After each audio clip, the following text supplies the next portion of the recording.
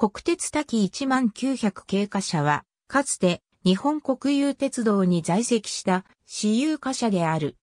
本形式と同一の専用種別である滝12000型についても本項目で解説する。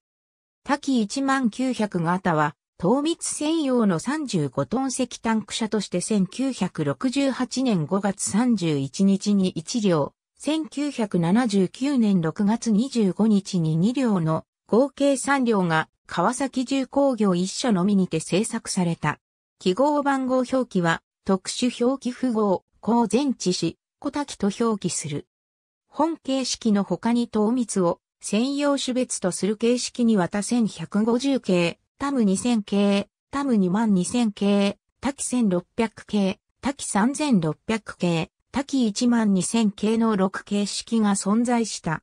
所有者は三菱商事、日本天才政党であり、その常備駅は神奈川県の新港駅、北海道の帯広駅であった。タンク体は普通構成であり、内部に蒸気加熱管を装備した。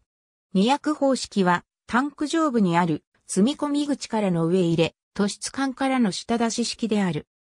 車体色は黒色、寸法関係は全長は 9640mm、全幅は 2520mm、全高は 3697mm、台車中心間距離は 7000mm、自用席は26.9立方メートル、自重は15.8トン、換算量数は席車5.0、空車1.6であり、台車はベッテンドルフ式の TR41C、TR213 である。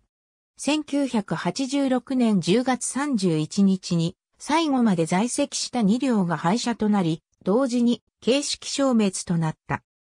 滝1万2000型は、糖密専用の35トン石タンク車として、滝1万900系落成の後を追うように3ヶ月後の1968年8月26日に3両が日本車両製造にて製作された。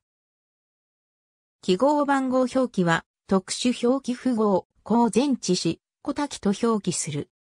所有者は三菱商事一社のみであり、その常備駅は神奈川県の新港駅であった。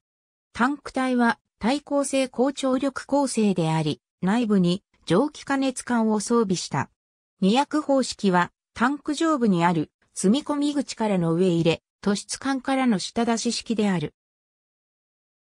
車体色は黒、寸法関係は全長は 1800mm、全幅は 2400mm、全高は 3699mm、台車中心間距離は 7000mm、自用席は26.9立方メートル、自重は14.7トン、換算量数は席車5.0、空車1.4であり、台車はベッテンドルフ式の TR41C であった。